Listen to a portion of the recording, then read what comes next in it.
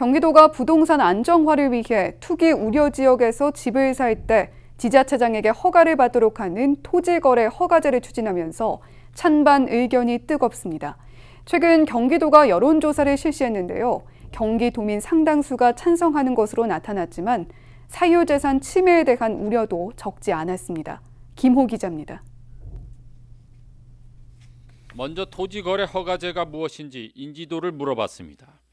68%가 알고 있다고 답했고 이 가운데 절반 정도는 이전부터 알고 있었다고 응답했습니다. 모른다고 답한 응답자는 32%로 나타났습니다.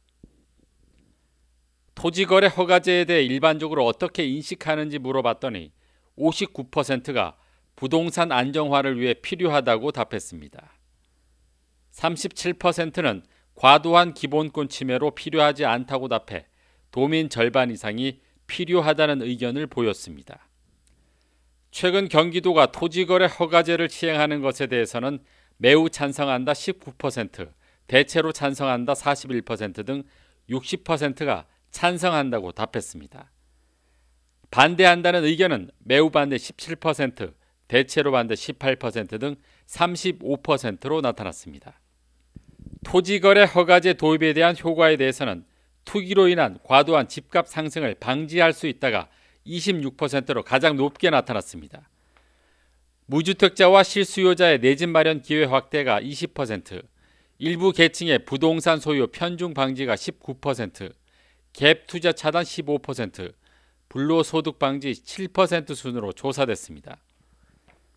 반면 우려되는 부분으로는 일부 지역만 실시할 경우 타 지역으로 투기 수요가 전가되는 풍선 효과가 나타날 수 있다가 26%로 가장 많이 답했습니다. 또 사유 재산인 토지 처분권을 침해할 수 있다가 23%, 전세 품귀 등으로 무주택 실수요자가 오히려 피해를 볼 수 있다가 18%로 나타났습니다. 이어 주택 구매 심리를 부추기거나 복잡한 행정 절차, 주택거래 허가제로 확대 우려 등을 부작용으로 꼽았습니다.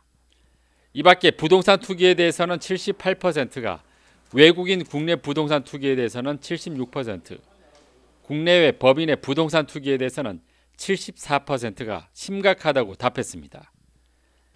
이번 조사는 경기도가 여론조사 기관인 케인스텐 리서치에 의뢰해 지난 13일과 14일 이틀간 18세 이상 도민 1000명을 대상으로 전화조사 방식으로 진행됐으며 95% 신뢰 수준의 표본 오차는 플러스 마이너스 3.1%포인트입니다.